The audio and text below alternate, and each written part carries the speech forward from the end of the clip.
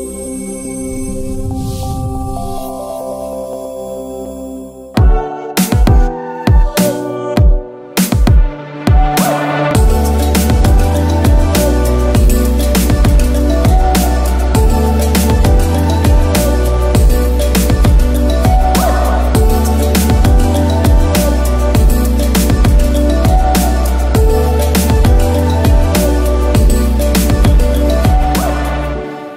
eh, heel hartelijk welkom bij onze nieuwjaarsbijeenkomst. En ik maak de gelegenheid gebruik om u namens college en namens de raad het allerbeste te wensen. Een goed en vooral een gezond 2020.